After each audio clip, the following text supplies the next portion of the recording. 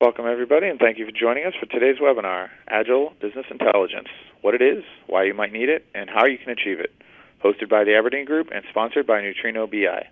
My name is Joe Venezia, and I'll be your moderator.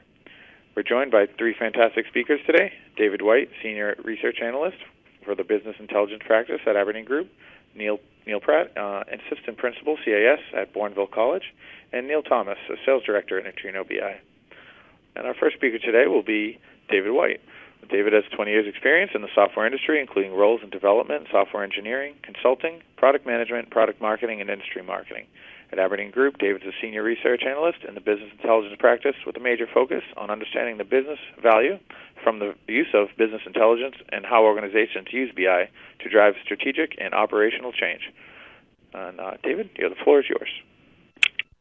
Great, thanks, Joe, and thank you all for joining today. So I have about 20 to 25 minutes to run you through a number of topics, uh, as you can see here on the slide. First of all, I'll take just a couple of minutes just to run through our research methodology. Now, that's quite possibly not the most exciting opening to a presentation ever, but without that, the rest of my slides really wouldn't make much sense. So after that, we'll look at what is really driving organizations to look for more agile BI solutions and what strategies they're putting in place to gain that agility. Following that, we'll look at uh, the companies with the most agile BI solutions, what Aberdeen refers to as best in class. And we'll learn what it is they do differently to other companies in order to really gain the agility that they have. And finally, I'll finish by just summarizing the benefits so that we can see uh, both how organizations and individuals can gain from implementing a more agile analytic solution. And we'll also have a quick polling question in the middle there, too. So, firstly, the research methodology. Then there's a, a, couple of things that make Aberdeen different from other research firms. First of all, all our research findings are based on facts that we draw from end user communities of tech, uh, users of technology. And so, for example, the business intelligence practice alone has collected data from over 7,000 companies in the last couple of years. And the second thing that's different about us is we have a benchmarking approach. So we use online surveys and follow up interviews to collect data from end users. And that survey collects really two main sets of data. First of all, we ask questions to understand what keeps executives and managers awake at night, and what are they doing to sleep better. So we ask what pressures they face around a, particular topic, such as agile business intelligence, what strategies they're executing to deal with the pressures that they face, and what capabilities that organization has or is developing. And we also ask about the technologies they're using or plan to use. The second part of the survey we ask about a number of performance metrics. Now, these can be quite wide ranging uh, depending on the research topic, but can include high level business metrics such as customer retention rates or profitability, uh, through to more IT focused measures such as how uh, often BI data is refreshed or how long it takes on average to add a new data source to a data warehouse. So once we've collected that survey data, we use a number of weight uh, metrics, an aggregate of a, a number of metrics, to really separate the top performing companies from everybody else. And more specifically, we segment all survey respondents into one of three groups. The best in class are the top performing 20%, the laggards are the bottom performing 30%, and industry average are the middle 50. And once we've done that segmentation, uh, and we've we've got that three-way split, the best in class, the industry average, and the laggards established. Then we can overlay the data from the rest of the survey, the pressures, the actions, the capabilities, and the technologies that he used. And from there, we can build a roadmap to help all organizations, even the best in class, improve their performance. We can tell them what processes they need to have in place, what metrics and KPIs they need to measure, what technologies they might need, organizational changes they might need to make, and so on. And so, in summary, then, each benchmark uh, really does two things. First of all, it clearly identifies those organizations that are getting the most business value from the use of various technologies. And secondly, by highlighting the differences in strategies, tactics, and technologies employed by those leading organizations and then comparing them to everybody else, we can really start to put together a roadmap for everybody to improve their performance. And that's the basic framework that we're using here uh, to establish the best in class organizations and then look at what they do differently to everybody else.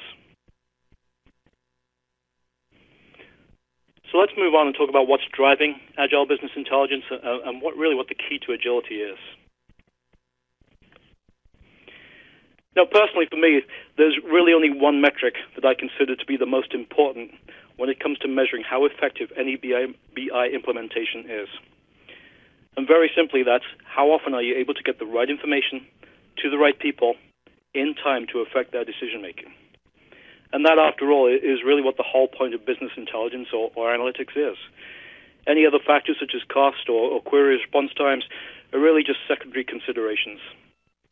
Fundamentally, if you can't deliver the right information to the right people in time to impact their decisions, then BI really has no value, regardless of anything else.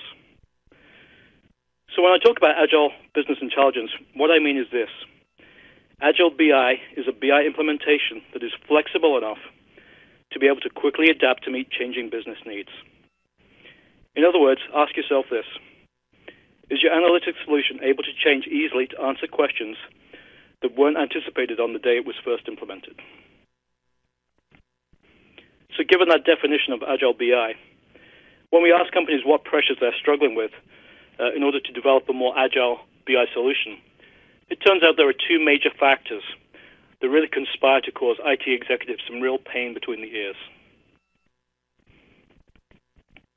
First of all, just over half of survey respondents note that the increased demand for management information is a real pressure. That is, business users are increasingly asking for access to new data or for different ways to see existing data. Secondly, 38% of survey respondents report that the growing data volumes and our number of data sources that they need to wrestle with is also a problem. Collectively, then, corporate IT is stuck between the proverbial rock and a hard place. On one side, there's more data flowing into the organization than ever before, and that data is often more complex than ever before. And corporate IT has to find a way to deal with that and turn raw data into valuable information. Not only does IT have to find a way to deal with that problem, but on the other side of the equation, has an increasingly demanding business community clamoring for more and better access to information. Not only that, but 65% of business managers tell us that their decision window is shrinking. That is, the time they have to make decisions after business events occur is being compressed. So essentially, then, the rate at which that raw data needs to be turned into, into management information is accelerating too.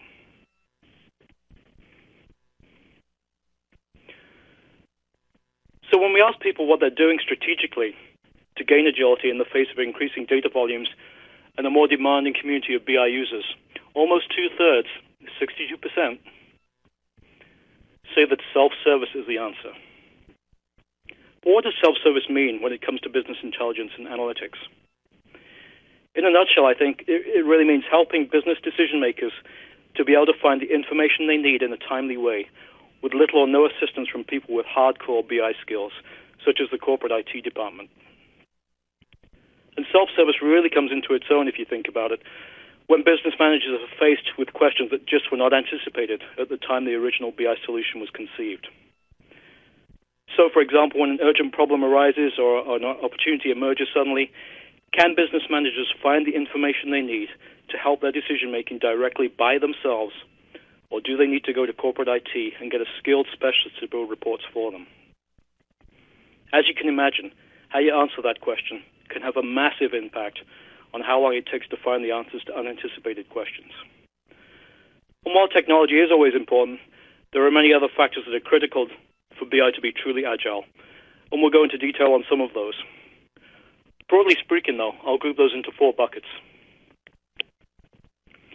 the right tools, the right culture, the right attitude, and the right support. Joe, can we push the polling question, please? Sure There we go. Uh, excuse me. Here it is.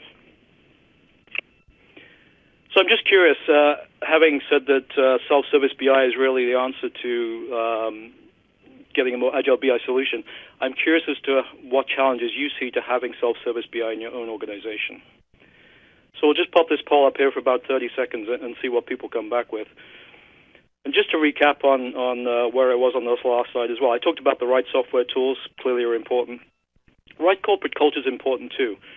Business managers really need to operate in a, a corporate culture that encourages and values decisions that are based on facts and information, and not just based on gut feel. Attitude matters too. As one survey respondent noted to me, for some users, it's easy to make them more self sufficient. But for others, I'm not sure that you can get them to make that leap because they simply don't want to. And that can be a real challenge for some people. So we're seeing the uh, the numbers really starting to bed down now. I think as everybody's uh, finished answering here. So, um, okay, interesting. The data fragmentation is a challenge. Uh, I can certainly talk to that a bit later. 45% uh, of people coming back with that, and also that the fact that the existing BI tools they have are too hard to use, which again I think is something I hear from a lot of people. Um, but certainly I see a, a new generation of tools emerging now. I think which can really help people with that problem. Okay, Joe, next slide, please.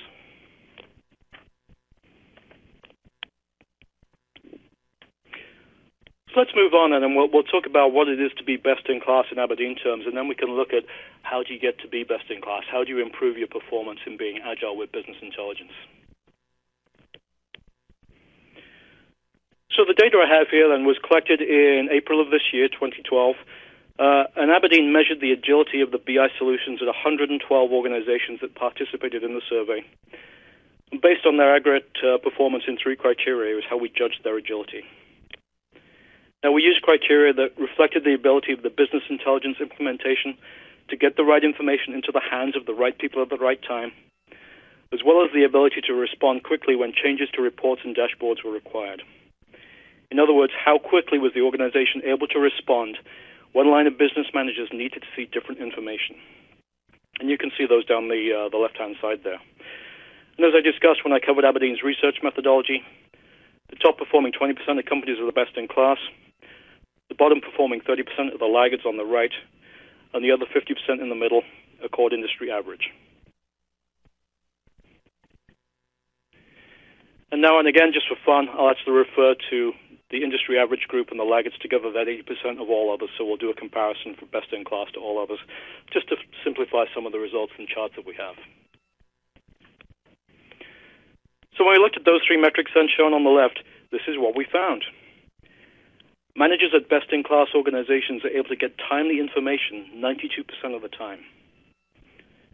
And while the industry average organizations in the middle uh, did pretty well too, 84%, as you can see over in the right hand column, laggards only fare half as well as best in class organizations.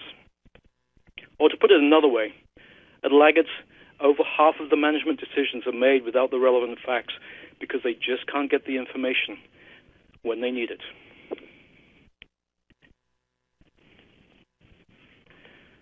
And the other two metrics used to distinguish best-in-class companies reflect the ability of the organization to respond to meet changing requirements for the BI system, such as the time to modify a report and the time to create a new dashboard.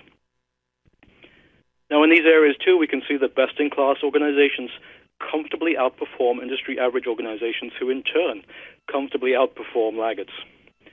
For example, as you can see on the bottom row of this chart, it takes industry average organizations 15 times longer to create a new dashboard than best in class organizations.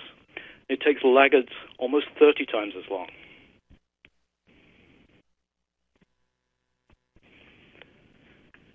So those are the three metrics we use to identify the best in class together with the corresponding performance differences that we see between best in class, industry average, and laggards. So now let's go ahead and look at some of the findings from the research so we can understand what are the things that best-in-class organizations do differently to everybody else in order to get the agile analytics implementations that they have. First of all, there are four technologies that we identified that are used more by best-in-class organizations than others, as you can see here on the chart. So almost all best-in-class companies, 95%, use dashboards, compared to two-thirds of other organizations. Now, one of the nice things about dashboards is that managers can see many key performance indicators on a single, highly interactive, highly visual page. And this means a large amount of summarized information can be seen and assimilated quickly, even from across multiple business functions if desired. Now, if the dashboards are refreshed regularly, and the right frequency quite honestly depends on the exact business needs, this alone can help organizations to be more agile and responsive, since relevant information can be put right in front of the relevant decision makers. In addition, nearly half of best in class organizations, 47%, also use visual data discovery tools. Now, this type of BI tool provides an extremely interactive and rich way for people to explore and manipulate information in real time. So, with this type of tool, most or, or all of the, the respondents, all of the responsibility, sorry, uh, for creating and maintaining views of the information really sits with the business users directly. In that regard, the role of corporate IT is greatly reduced and really often amounts to just to creating and maintaining a repository of really high quality data for people to access. Visual data discovery, as you can imagine, can be of real benefit for managers who often have to handle unanticipated questions with only a small decision window. As I said at the outset, that's really one of the challenges that people are, uh, are seeing now. The decision window, the time they have to react, is getting compressed all the time.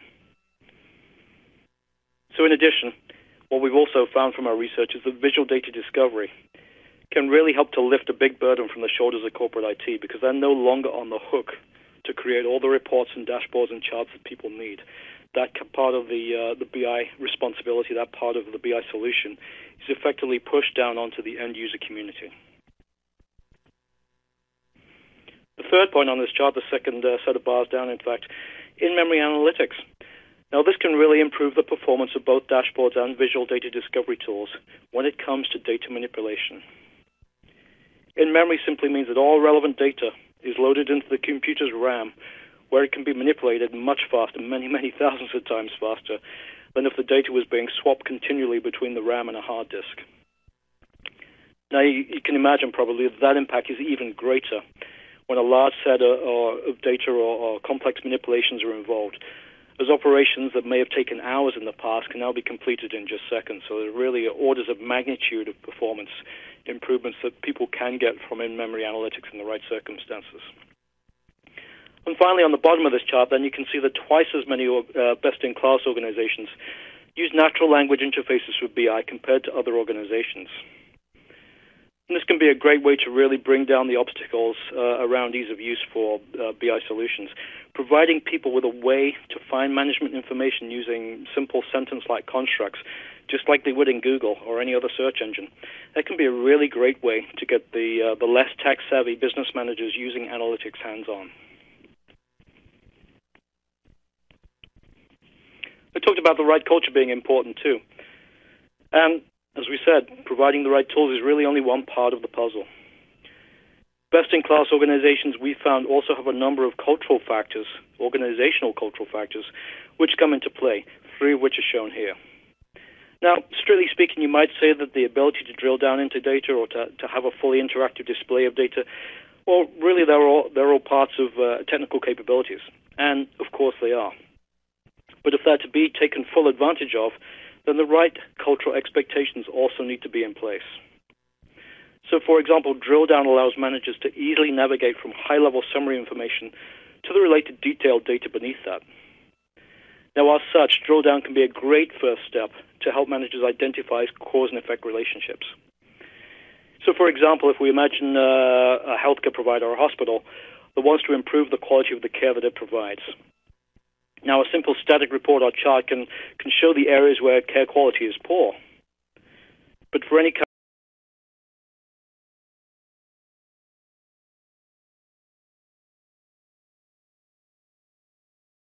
kind of corrective action to be taken, more detailed analysis is required. And that analysis might reveal, for example, that particular doctors were performing poorly, or perhaps the shortcomings are all due to a particular hospital facility, for example. So while drill down can really help managers understand cause and effect relationships, that's only really possible if senior management empowers them to do so. And a common barrier that we see to the more widespread use of analytics is simply that senior managers are not willing to give up control. Either they don't trust more junior managers to make decisions or they simply want to retain control for political reasons. And the same can be true with very interactive forms of BI, such as visual data discovery. If senior management isn't willing to give up some power and let some decisions be made at a lower level, then the use of such tools can be very limited. So there has to be some kind of cultural expectation around this and empowerment that happens here too. Having the right tools just isn't enough.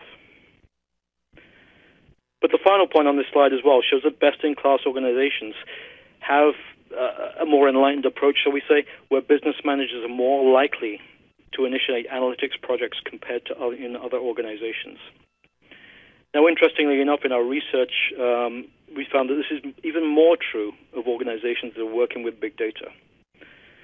So what we're starting to see here, I think, is, is a trend that analytics is becoming more democratized than in the past. In the past, because so much of a, a BI project had to be controlled and managed and resourced by the IT organization, I think users had relatively little say in the prioritization of projects. What we're starting to see now is that more and more analytics projects are being initiated and driven by business leaders. And as I said, this is particularly notable where big data is concerned. And I think partly that's because the availability of data now is so good that it's really opening up all kinds of possible applications for BI and analytics that just weren't practical or cost effective in the past.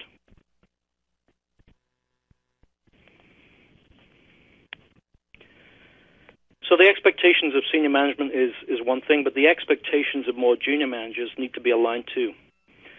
We all know you can lead a horse to water, but you can't make it drink.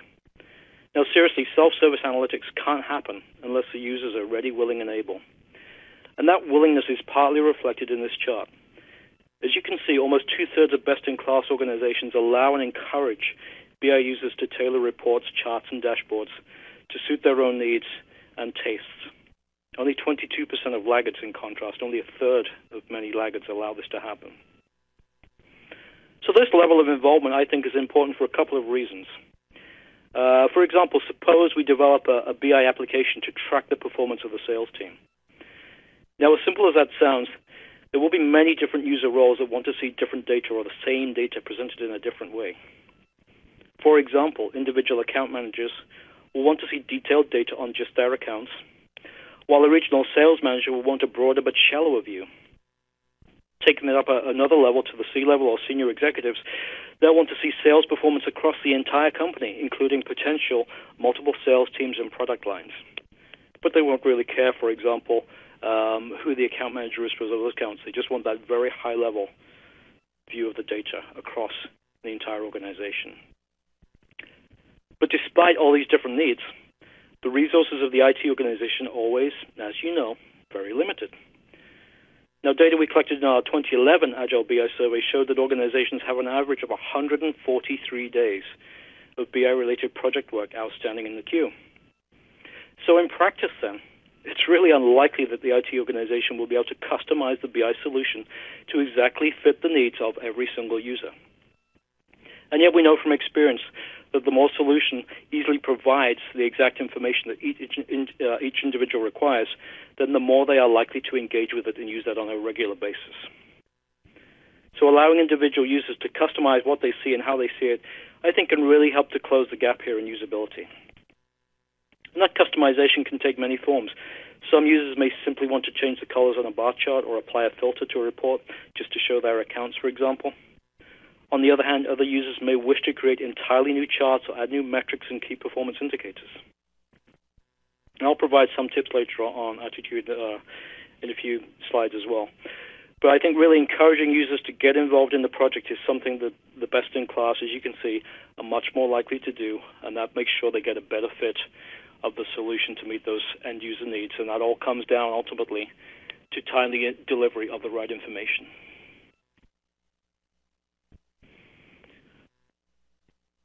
But in best in class companies, the right attitude extends further than that too.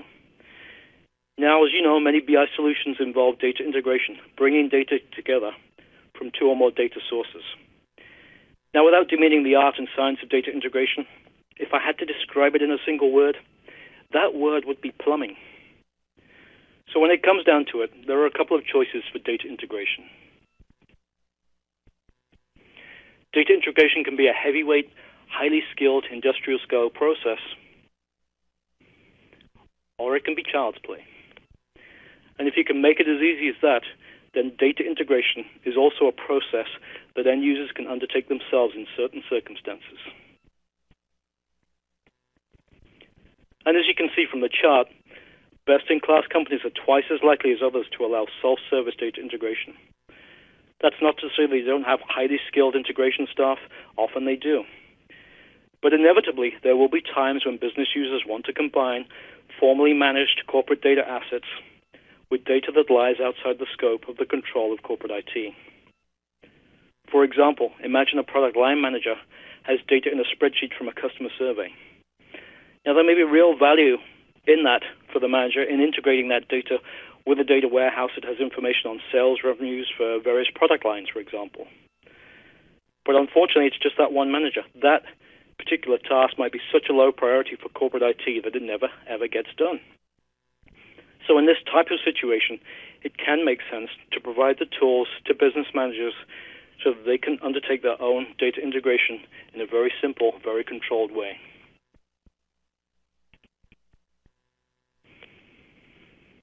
And so finally, as you make the transition to a more self-service approach to business intelligence, it is important not to leave your business intelligence users floundering around like fish out of water. So there are a number of things that best-in-class organizations do to ensure that they provide business managers with the best possible support and the best possible chance of being successful.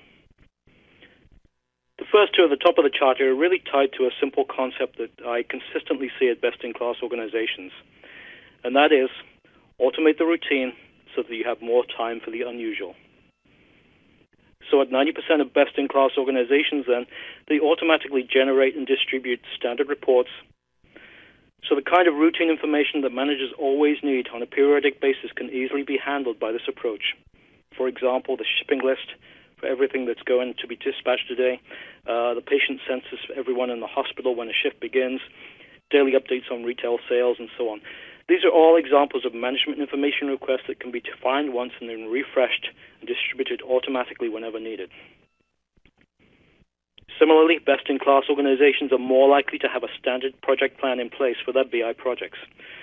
Now, I know that no two business intelligence projects are, are ever the same, but there is often enough commonality from one project to the next for it to make sense to, uh, to have a formal project plan that can be applied to every project.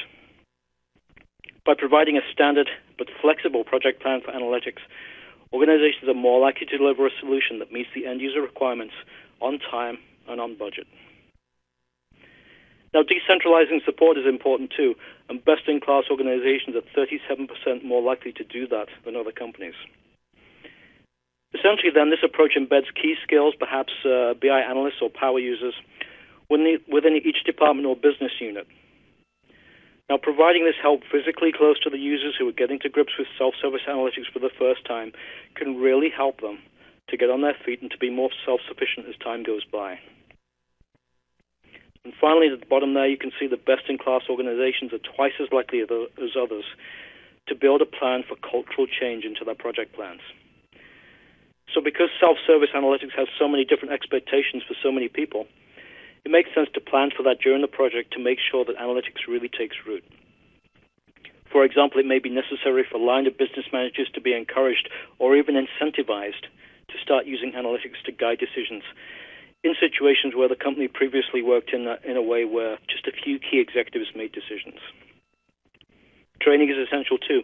Training in the concepts of analytics and working with data, uh, training in the specific tools available, and what they're appropriate for, and ideally training with the actual data that managers will work with on a daily basis.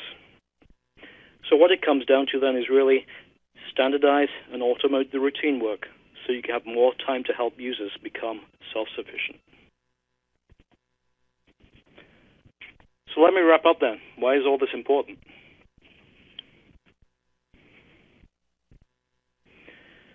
We've seen from the, the definition we had before, best-in-class companies are able to get the information they need in the time they need it 30% more likely than other organizations, 92% compared to 71%.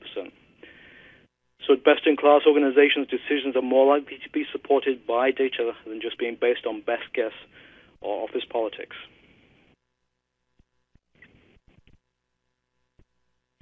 There's 47% more employees have access to BI or analytics at best-in-class companies. Now, this is key the annual research into operational BI that Aberdeen conducts consistently shows that those organizations that have the most widespread and deepest adoption of business intelligence are able to grow their profits faster, improve customer retention rates faster, just to name a couple of metrics. And the reason that this more widespread adoption is possible is because self-service naturally reduces the workload on corporate IT, so they can spend their time putting analytics further uh, more broadly deployed within the organization, not just keep making new reports all the time. And finally, then we see that those companies that are best in class also seem to have a stronger adoption, and that their analytics users are 23% more likely to use BI on at least a weekly basis. And I think this is really just an indication that the business managers are finding value in analytics. They can find the information they need quickly and easily, and so keep going back to their analytics solutions for more. And finally, let's not forget if your analytics is sufficiently agile, it means less time trying to hack data together in a spreadsheet at the weekend and more time to enjoy the things we'd all rather be doing instead. Joe, back to you. Thank you so much, David. Our next speaker here is Neil Pratt. Neil is uh, our, our, assistant principal of CIS of Bournville College. Uh, with over a decade of senior IT experience within the education sector, Neil brings a wealth of knowledge related to the development and enhancement of both systems, platforms, and reporting tools. Neil joined Bournville College in January 2008, where as a part of the college's management team, his prominent role uh, means that he took responsibility for the preparation of ILR, or individual learning returns, uh, the, the production of funding reports, the development of dashboard reporting systems, plus the day-to-day running of the CIS and examination offices for the college. Neil, take it away.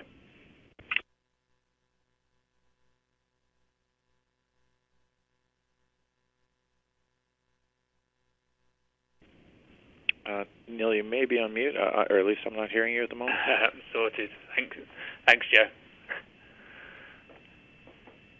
As Joe has just said, I'm part of Bournville College's management team, responsible for an extensive IT infrastructure that's aligned with our state-of-the-art building at Longbridge in Birmingham. Today I'm going to talk about how a new BI tool from Neutrino BI is helping us to increase our business agility we are in the early stages following implementation over the summer, but we are already seeing the benefits of using it.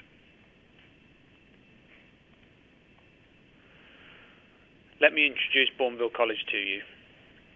Although the college has been in existence for almost 100 years, we have only recently moved into our brand new premises. We have wonderful facilities, so if you are ever in Birmingham, do pay us a visit and see the state of the art building where we cater for over 15,000 students every year. This year, uh, we have a revenue target of 32 million pounds. We plan to increase this by up to 20% in the next five years. This may seem like a big ask, but despite the challenges ahead, we do see this as a realistic goal.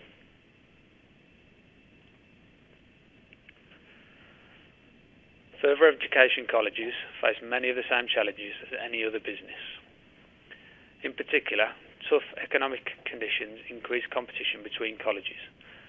Fewer students are choosing to stay on, and there are more places available to the most able. State funding is becoming a thing of the past, with students expected to contribute to their education by paying fees, which are already high for most students. Colleges are expected to diversify income streams in order to achieve targets and maintain the business. Uh, so that we attract the best students, we need to show value added through first class teaching and learning, facilities, and services. For IT, this means providing cutting edge technology and services, but doing so within budget and resource constraints. At the moment, we have an IT team of six looking after 15,000 students and 500 members of staff.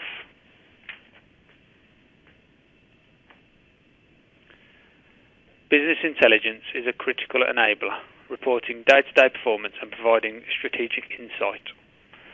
Unfortunately, we were hampered by, this, by some simple, simplistic visualization tools. What that meant was that we did all the legwork of consolidating data behind the scenes and preparing all the scripts we needed to get it to visualize as a dashboard.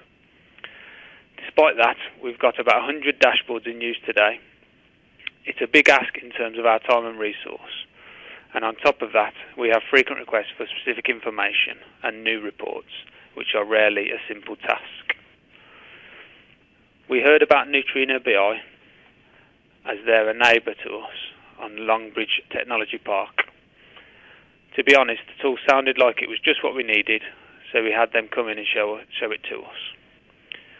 There were very few barriers to getting Neutrino installed, as it doesn't require us to rip out and replace our existing systems, and requires very little effort on our part. So we implemented just a few weeks ago during our summer recess. The initial implementation is focused on two or more, or two of our most key reporting areas: ongoing success and achievement, and daily attendance records.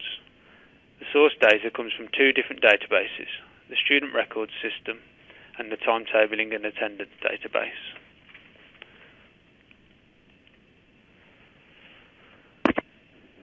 The first thing that was impressive about Neutrino was the implementation. It's much faster than any other similarly extensive BI project I've been involved with. Basically, it was in within a morning. They took a couple of hours to onboard the data, but with their data acquisition tool, that was pretty easy to do. Uh, it took about another 25 minutes to build the search domain for attendance based on the scheduling and attendance database, and then I could question it. With Neutrino BI, you just type in your query in what looks like a search bar, and it brings back a set of graphs on a carousel. You choose your graphs, drag and drop them onto a canvas, and build up the dashboard you want. It looks something like this. As you can see, dashboards can be customized depending on how you want the graphs to look, the type of graph, the scale, the color, and also security settings so that it can be shared in a secure way if you want it to be. We can also drill down to see any anomalies, even check out the attendance of an individual student if we need to. It's hard to compare Neutrino with our previous capabilities because it's not really like for like. With Neutrino, you can do so much more not just dashboard reporting, but also in terms of data discovery. In addition to delivering our dashboard reporting, we also want to roll Neutrino BI out to the management team to enable them to do their own data discovery. Because it's easy to use, they can get to the information they want without issuing an IT job request. In testing, I found that Neutrino's in-memory search provides really fast results to questions we couldn't ask before. It would have taken a number of hours to prepare the data to answer these questions shown on the slide.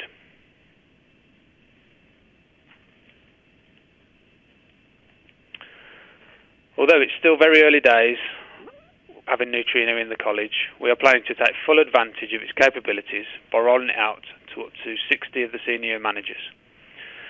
We're also looking at their cloud capability to support any international students we have and we want to develop a specific subset of functionality so that each student can see their own performance and attendance as a dashboard. Functionality that would also be useful to tutors, advisors, and also employers of anybody doing an apprenticeship or educational day release course. Neutrino BI has also let us know of their iPad development being released next year.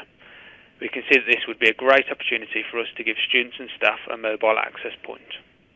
All in all, the need for up-to-date data, in-depth management information is being satisfied by the use of Neutrino BI and given us the capabilities to enhance the agility of our business intelligence platforms. Back to you, Joe. Thank you kindly. Uh, our final presenter for today will be Niall Thomas. Niall is the sales director for Neutrino BI. He joined the Neutrino BI startup team almost two years ago in early 2010. As a sales director, he's responsible for developing the Neutrino BI go-to-market strategy and value chains, establishing the sales team, and recruiting both channel partners and end customers. Before joining Neutrino BI, Niall was a senior VP and general manager of i2 International, senior manager at De- uh, Detica, and na- national sales manager of SunGard and regional account management systems at Siemens. Niall, take it away.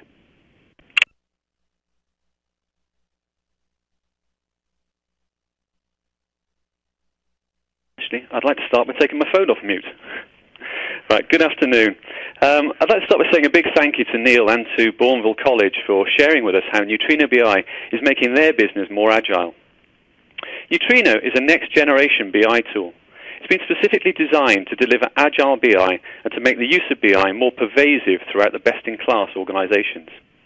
In the next few slides, I'm going to take a look at the recommendations of the Aberdeen Group for Agile BI and give you a brief overview of how Neutrino could enable agility within your organization. Earlier on, we heard David talking about the difference that Agile BI makes to the bottom line of the best in class companies.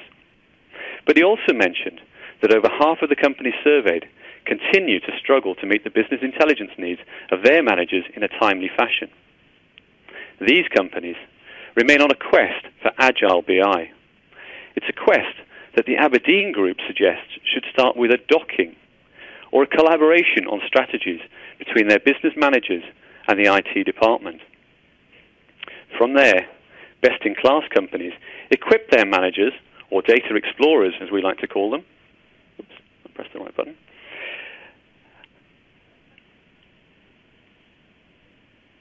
Um, sorry, equip their managers or data explorers with the tools that enable them to explore their business data for themselves and to develop their own dashboards and reports. The bottom line? Well, David and his team found that the best in class companies, it meant that. Business managers found the information that they needed when they needed it almost all of the time. They halved the time that it took to complete a BI project. They developed new dashboards in a fraction of the time that it takes in more traditional BI products.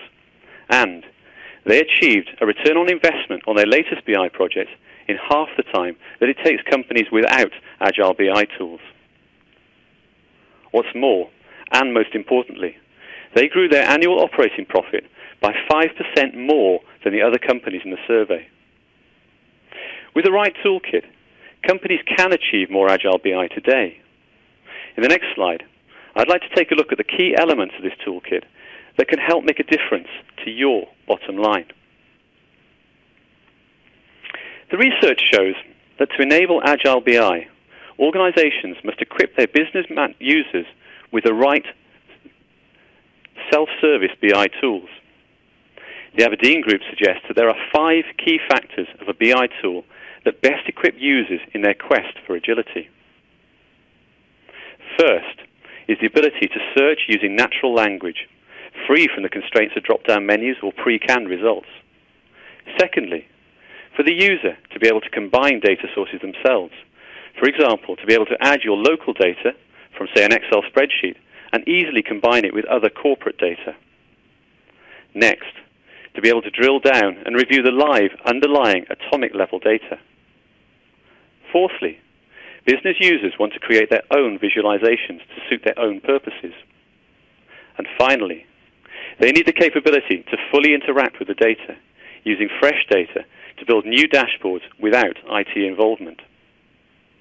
The challenge is to find a BI toolkit that helps you to deliver this functionality to business users across the organization in a way that's simple, fast, and efficient.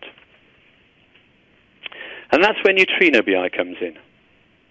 But what makes it the right tool to enable your quest for Agile BI? Well, firstly, we have a unique free-form search capability that allows users to ask a sentence-like question in a similar way to an internet search engine.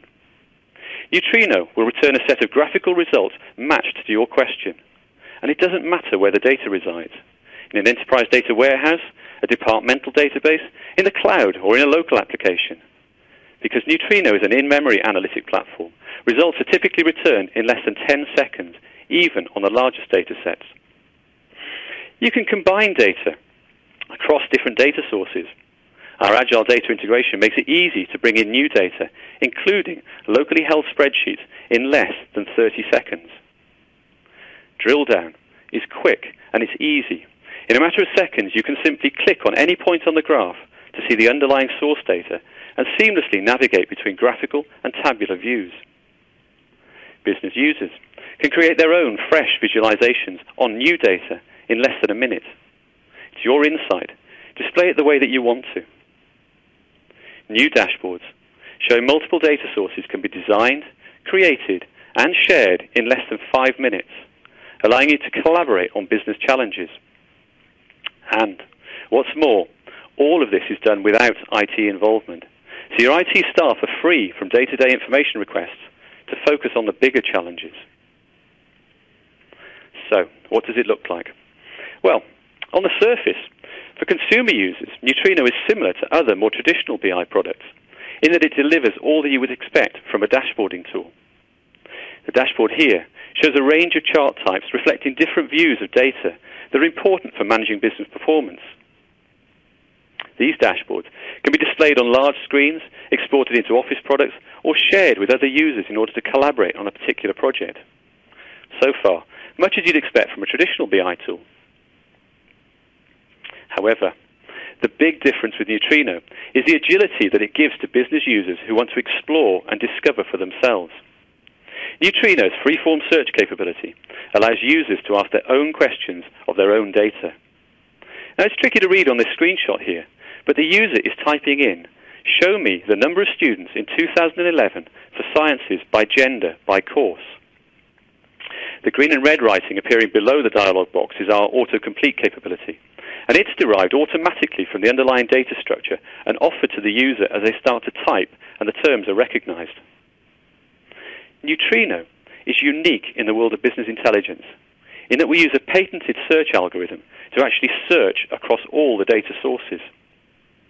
The search algorithm understands the context in which words appear based upon the hierarchies, the facts, and the measures within the data, and it ranks the results like a search engine would. This means that you'll get a number of charts generated depending upon the combination of search terms entered and their frequency of occurrence within the data. Now, it sounds complicated, and the algorithm is, but to the user, it's very straightforward.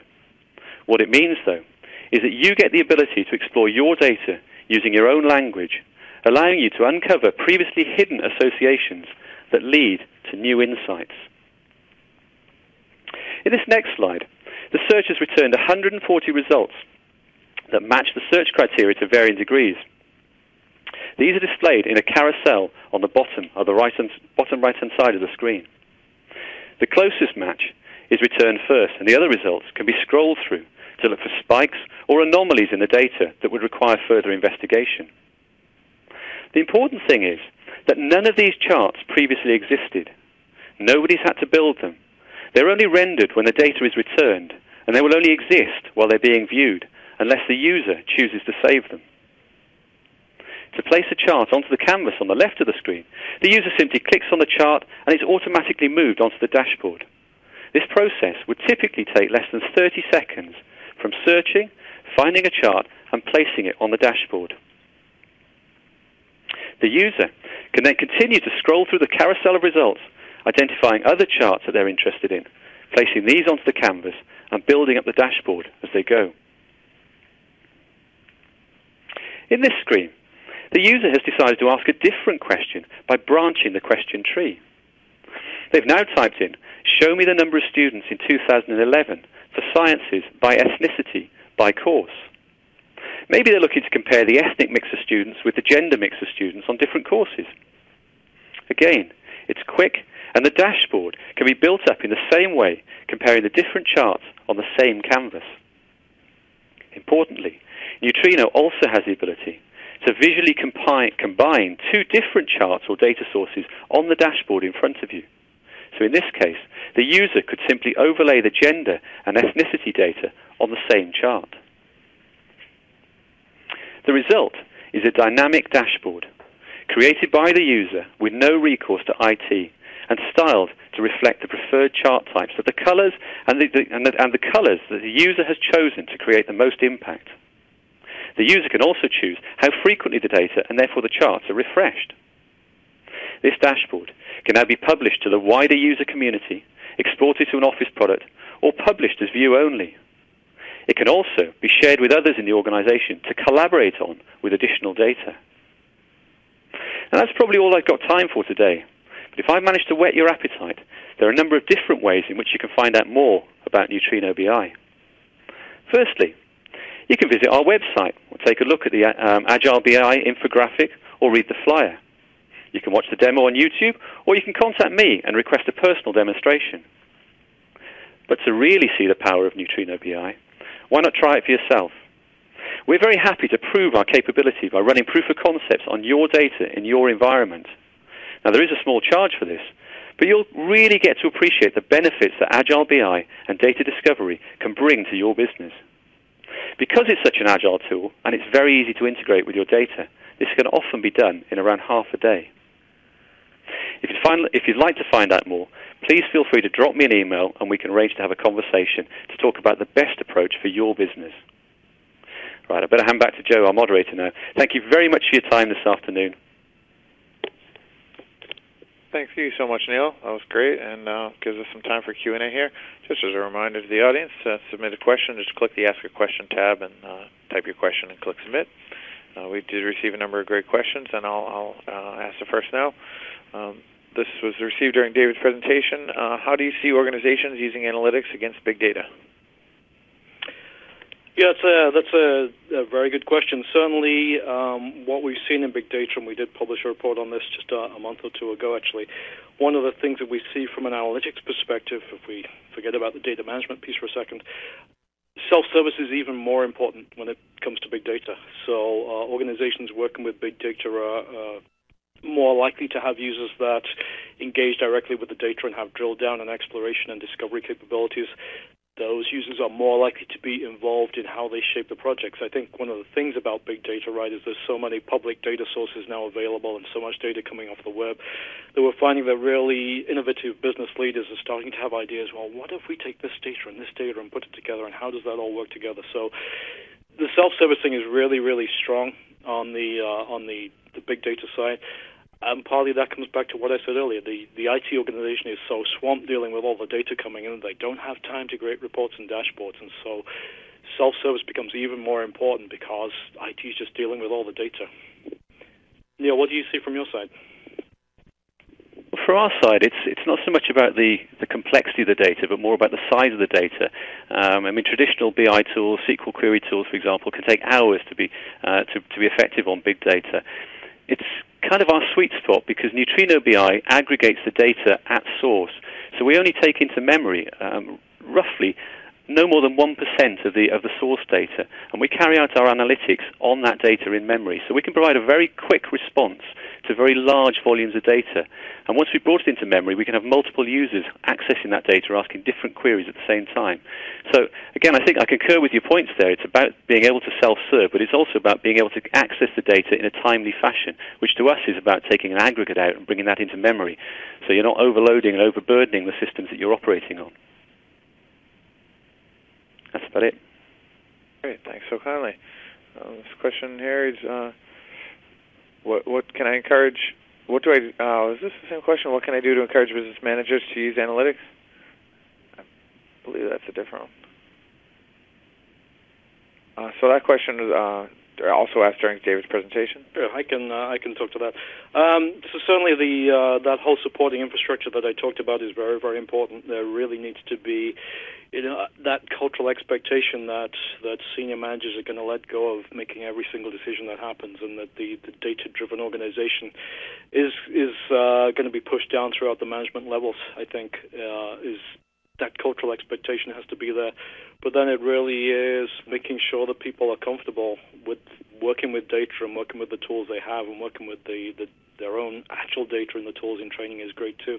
And I think this is becoming much easier now. We have uh, obviously a, a generation coming through who well, they look at data on Facebook and they look at data on LinkedIn, and they can they can do charts and all that stuff online themselves, and their iPads are so easy to use. And well, gee, why doesn't data in the office work like this? Why why can't I have access to information the same way that I can see things on my iPad in uh, in you know in, the, in my private life? So that cultural expectation is is uh, being driven from the, the grassroots upwards now as well, and so I think there's there are is more eagerness now from business people to actually engage with the data themselves. There's the expectation when they come out of college and go into the corporate world that they're going to be able to do that. So I think that really helps to to make that switch happen as well. Can I just comment on that as well, Joe? Mm-hmm. Sure, yes, please. It's Neil. I think, uh, I mean, some of our experience has been around, particularly around the user interface side of things. I mean, traditionally, um, you know, some old, some BI systems have been uh, have been fairly complex to be able to use. Um, from a senior manage- management perspective, it's also just about um, exposing to senior managers how simple you can make um, the use of BI, so it doesn't become something that slows down um, a manager's role, but actually enhances their ability to perform their role um, and actually involving senior management in the decisions around what tools are being chosen um, and taking their viewpoints in terms of making that part of the selection criteria is also very important. Great, thanks so much. next question here reads, what advantage do you get from in-memory analytics, and do I need anything special to get it? Um, well, I, I, can start off on that. So uh, the advantage you get really is, is tremendous speed um, of manipulation of data, and so uh, you can imagine perhaps if you're trying to drill down through data or slice and dice it different ways and isolate different subsets and look at those. Um, if every time you click the mouse it takes three minutes to, to actually refresh that view of the data for you, then that's that's not a very compelling and interactive experience because you just you just lose the thread of your thought process that way.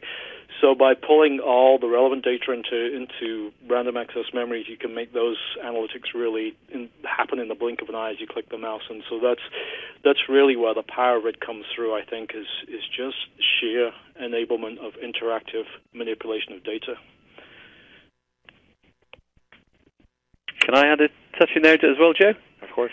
And, and, I, and I probably would say this, but I think one of the um, the barriers to to in-memory um, analytics has been uh, the growing volume of data and actually moving sufficient volumes of data into memory. Obviously, you know the network uh, restrictions there, and then actually the memory of the or the processing power of the, of the devices you're using it's the reason that we've taken the approach of, of, of, aggregating the data at source and then bringing across that aggregate data. Know, if we're bringing back less than 1% of the source data, it makes it a lot easier to put the data into memory and therefore to apply your analytics in that environment. Thank you so much. Uh, does Neutrino uh, accommodate multiple languages other than English? Uh, yes, it does. Oh, wonderful. All right, that's great. Thank you. And uh, let's see what other questions we have here.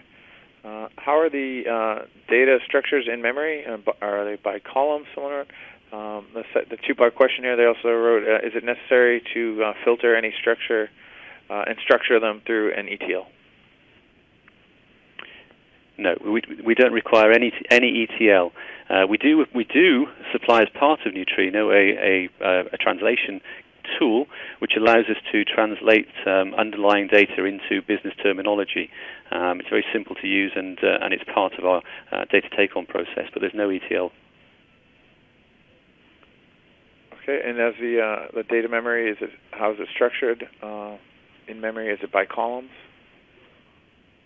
Oh, you've got me on that one. I need to bring in a techie for that one. I'm afraid. All right, we'll do. Understood. I, actually, I, I have the uh, the user's information, so we'll, we'll reach out to them uh, following the webinar. Um, and this this question here reads: How easy is it for me to share the results of my analysis? Uh, from our perspective, it's very easy. Uh, you, you simply choose to pub- publish, and then you invite whoever you wish to uh, to uh, uh, join in and, and, and utilize the uh, the, the, the charts or dashboards you produce. However, um, it is all security and access controlled, though, so you can only share. Um, in terms of collaboration with other users who have the same or um, a higher security and access level than yourself. Thanks. Um, so the question here: How, how does search work against structured data? Um, I did cover that one in the presentation. Um, we um, recognize the uh, the facts and the dimensions within the data, and we've got a, um, a patented algorithm um, which we uh, use against um, the, those those data structures in order to look at things like relevance and occurrence within the data to pipeline, sorry, to, to select the uh, the appropriate um, charts that most closely match. Very similar to, a, to an, uh, an, internet search engine, but actually specifically structured for sorry, specifically aligned for structured data. Great, and so we you. patented it. Of course. Well, thank you all. That was great, and uh, that, that's really helpful. And we got through a number of the audience questions, so um, I, I do appreciate all of that. Uh, this does bring us to the conclusion of the webinar. I'd like to thank our presenters, uh, David White, Neil Pratt, and Niall Thomas, for their research, insights, and all the recommendations.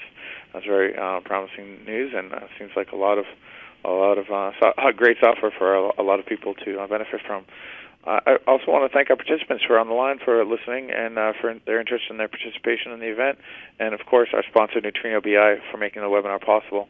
I hope you all found it beneficial, and we do wish you the best wherever you may be. Thank you. Thank you. Thanks for listening, guys.